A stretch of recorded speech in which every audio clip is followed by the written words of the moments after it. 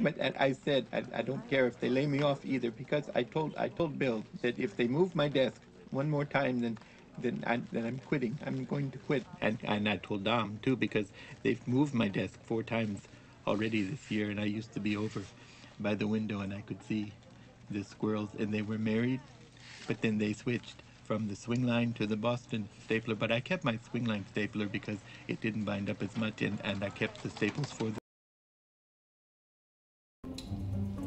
Hmm. Milton, Yes. what's happening? I wanted to Say, you. Milton, you know what would be great? Wait, no. Since you're down here, it would be really great if you could just sort of. Take care of the cockroach problem we've been having in here. No, that's really not my job and I, I haven't received my paycheck this week. For now, why don't you go ahead and get yourself a flashlight and a can of pesticide and And- crawl down. Bill, we need you upstairs right away. We got a big problem. Big. Some major glitch in accounting. A lot of money missing. We got an investigator here. Excuse me? Excuse me? But, okay, but that's the last straw.